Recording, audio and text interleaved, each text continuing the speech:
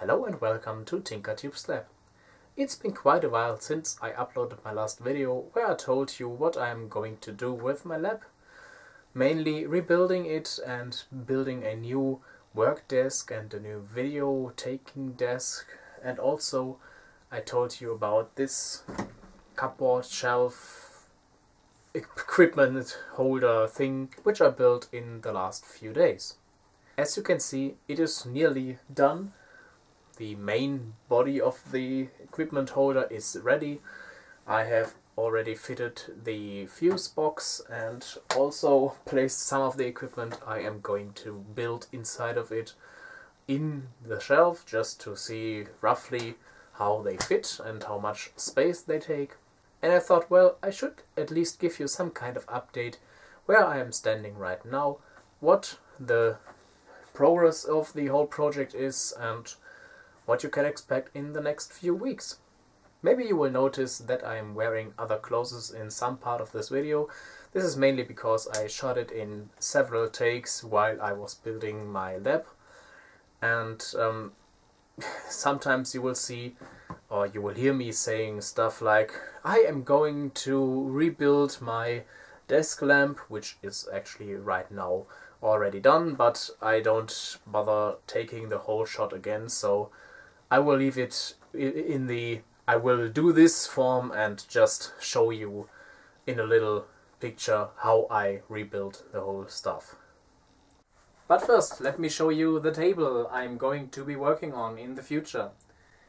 Here I have a big old massive table made out of I guess it is around 4 centimeters thick material which is really solid. I mean I I can stand onto this table, jump around on it, and it is not even bending at all. And uh, this is quite impressive, I guess. Uh, I also got this cutting mat in nice bright green, or if you prefer, I can switch it around and it'll be baby blue. Uh, I took this mat because I noticed filming on this black material as it is on my old bench is really really hard. The camera loses focus quite often and with this cutting mat I hope to come by with this problem. Behind the table I placed my soldering iron and my hot air rework station. It's quite a nice place, I can reach it from where I am tending to work at the moment without any effort at all. Um, by the way, if you didn't know what I'm using, you can see it right now. It's one of those El Cheapo. Has it has it a brand? This one doesn't actually has a brand. It's a known under different names like Yihua 852D plus whatever hot air rework station thing. Works quite nice. It's quite cheap, but it's okay. By the way, I have a video of that. I don't know if it's one of the old German videos, I'm not quite sure, but I made a review of that one. If you're interested, try take a look right here.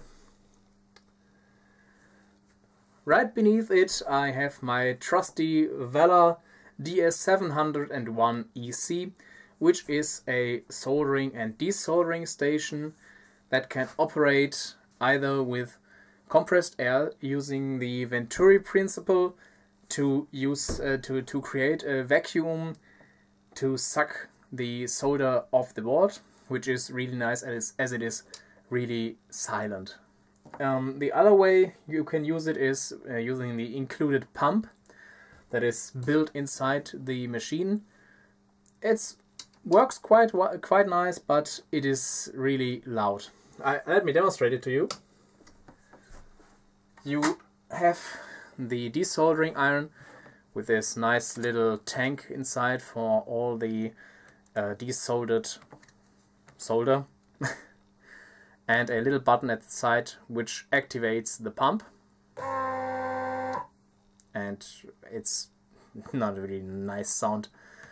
I have heard some quite some some time that it sounds like donkey you are hitting in the ass so not particularly enthusiastic about that. and the uh, the way using it with compressed air would be just like that's all you're going to hear. So I will connect it back to my uh, compressed air system as soon as I have the compressed air system running again. So now let me show you what I have done in the past days.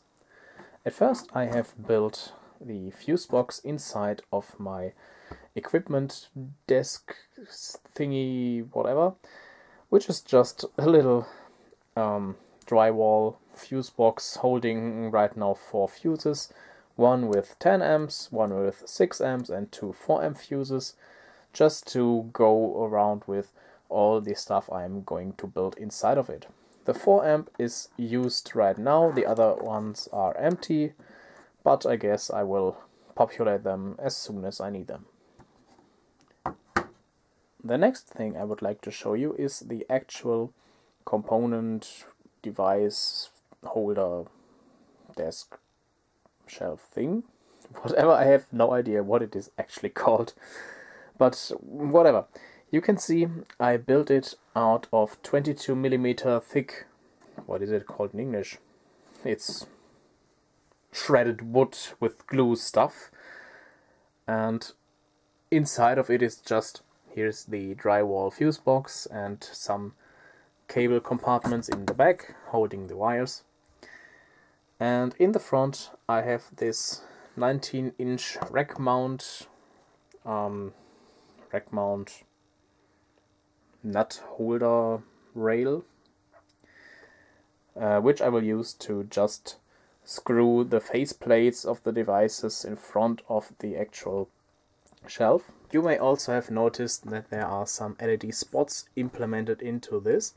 Those are actually old um, old G9 halogen spotlights which were actually rebuilt by my father to implement LED lighting in his old uh, flat.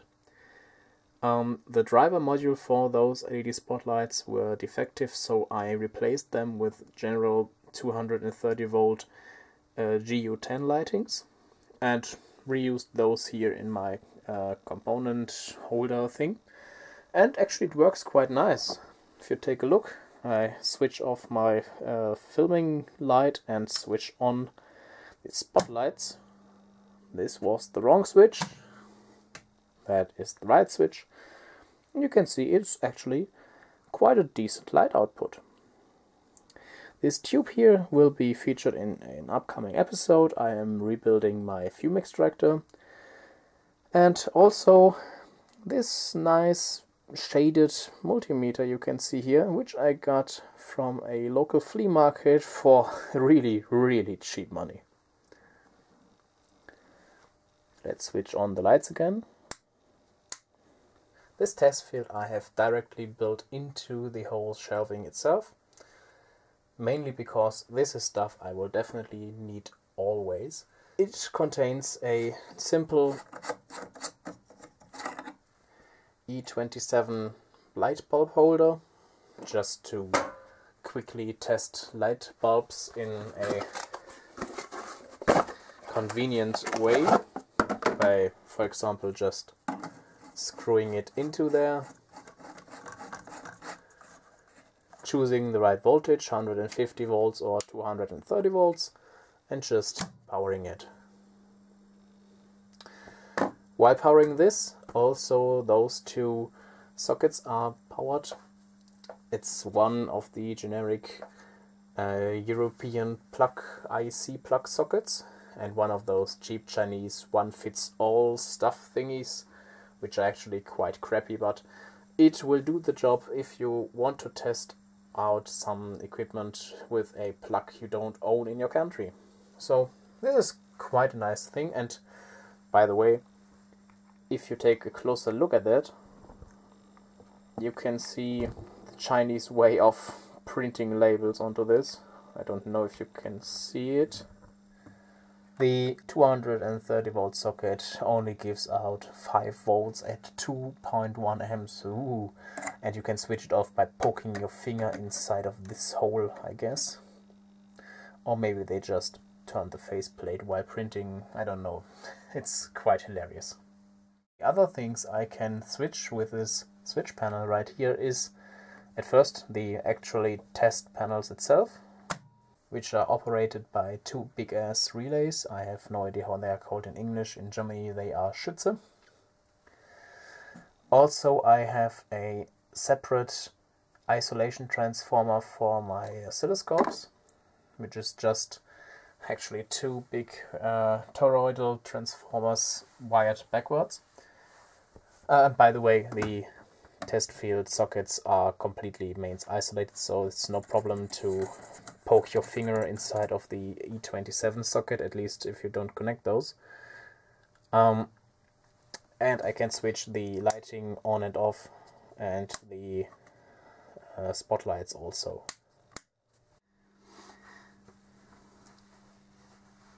At the backside of the test bench itself I have on the left of my sitting position my two scopes, the Rigol DS1054 which everyone should know and the Hameg HM50073 which is a late analog digital combi scope. Really, really nice scope. I love to use it, even though I have the Rigol. Um, I tend to use the Hameg one when I need some quiet surrounding, like when I'm working on audio equipment, because the fan, uh, uh, the fan mounted in the Rigol tends to be somehow annoying, and the Hameg is really ultra silent. You can't hear anything from it. Switching over to the other side, we pass my do-it-yourself solder this roll thing, whatever, and one of those spongy copper shaving tip cleaners, which I really love. At the right side, we have two Gossen Konstanter power supplies they are 32 volts 2 amps and even though they are completely analog and linear power supplies, I really love those power supplies. Um, I will feature them in a upcoming episode, I guess. They are you you really you really see the made in Germany quality inside those beasts. Considering that I have one of those, ah, I guess well-known power supply units which you can get for around 200 euro. I even though that has really nice features, you can couple it with just pressing those buttons to use it in series or in parallel or independent. Uh, and it has a fixed 5 volt 3 amp output for logic uh, like microcontroller stuff I tend to use the Gossen quite more often, even though they only, have analog readout and the left one is lacking his uh, voltage meter as it is broken. I have no idea how that happened. Uh, I got it already with a broken uh, voltmeter. But, well, I love those things and as I said in an upcoming episode I will tell you my reasons for using those. A few words to the light fixture I just mentioned. As you can see, it is, or maybe you cannot see it, it's possibly way too bright. It's an Aquamedic uh, aquarium lamp. Um, as my father died, this lamp was you hanging over his aquarium, his one and only thing in his life. But I didn't have the skill required to keep the, the animals alive so I had to get rid of it. And this lamp is what remains actually of this hobby of my father. And I decided to give it a new life in my workshop and use it as a work light. But you may have noticed it, the light it is outputting is really blue. This is because the tubes that is uh, that I used inside are Aquascience 39 watt blue. I already ordered some new tubes in neutral in neutral white and in warm white and in cold white so I try to combine it to get the best light output at all but in conclusion if I populate all six uh, light tubes inside this Aquamedic aquarium light I will get around, uh, let's calculate, 40, 80, 120, 240 watt of light output in uh, fluorescent light fixtures. And that is really a huge amount to work. As you can see right now, I guess my skin is a bit too bright as I have already also my new camera light pointing at me. You can see it right there. But I guess I can work with it. I can uh, make the whole thing switchable so that I can only use some of the lights if I want to. I guess that is a real nice light fixture that I'm going to use in the future. The next thing I would like to show to you is this uh, drawer cabinet I got basically for free from the trash. It is really huge and it is so heavy I had problems carrying it upstairs. I, I even had problems loading it into my car as this thing is it's enormous. Uh, as you can see I have all my equipment placed inside it like my screwdrivers and my pliers.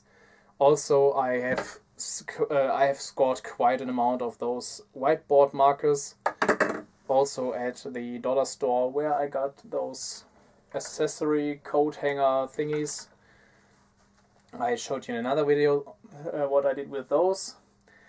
Um, it's really a nice place to go as there are some videos coming up with more stuff I found there. Right now I'm trying to get another one of those uh, drawer cabinets they are really expensive if you try to buy them new, but maybe I get lucky again and get another one from the dumpster. Who knows? So that was basically a short overview of the changes I made in my lab, rebuilding my electronics workbench and some other parts of it. I hope you enjoyed it. If you did, please give the video a thumbs up and consider subscribing and giving me feedback by posting a comment. I would really appreciate it. I hope to see you the next time back here in Tinkertubes lab. Until then, goodbye.